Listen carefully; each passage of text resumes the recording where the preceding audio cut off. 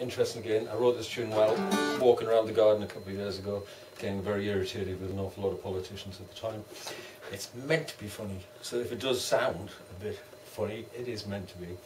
It started off as um, Cameron's Calypso, but then I couldn't, it didn't really work as a Calypso, then it became Farage's Fandango, where Fandango's in 3-4 and it doesn't work for that. And then it went through Miliband's March, and that didn't really work. And then I got to Corbyn's um, Cakewalk, and I was just thinking of the car coming down. It's now Trump's, um, could be a tango, Trump's tango. could be. Mm. It'll change from time to time.